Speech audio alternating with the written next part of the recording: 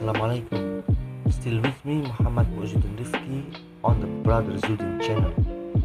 In this video opportunity, I will try to review a laptop that has been out for a long time, but is still strong enough in 20 and 21. And here comes the Lenovo G14. The Lenovo G14 that we are reviewing has the following specifications. Intel Dual Core Pentium 2020M processor with a clock speed of 2.4 GHz, one RAM chip 2 GB DDR3 with a speed of 1600 MHz, which can be upgraded up to 16 GB. 2.5 inch SATA hard disk storage with a capacity of 500 GB.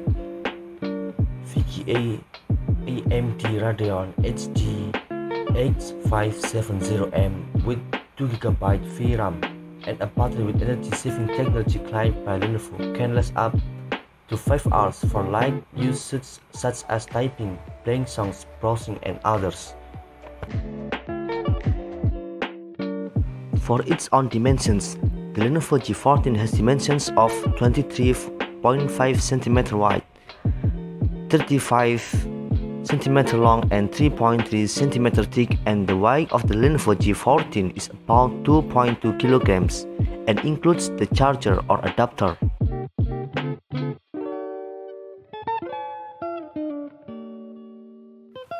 For multimedia accessories, I will first review my webcam. The webcam that I have is branded Magic with type MC410. The price is 85,500 rupees.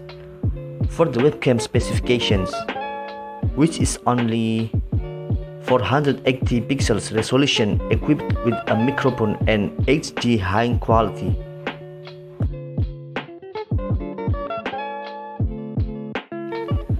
For the second, I will review my headphones. The brand is Logitech.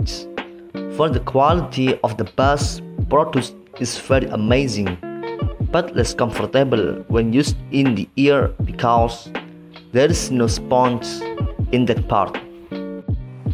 For the software that I use is CorelDRAW X7. The software is very useful. We can make any designs we want, such as logo designs, banners, pamphlets, the search designs, stickers, and others. Then the software that I use again is Visual Studio Code. I use this software to do college assignments about programming and use it with the Java programming language. I really like the, the interface designs and it's more colorful. Besides using CorelDRAW and Visual Studio Code, I use Your Uninstaller software. This software is useful for installing software or programs that are no longer or not used and delete to the root such as change files.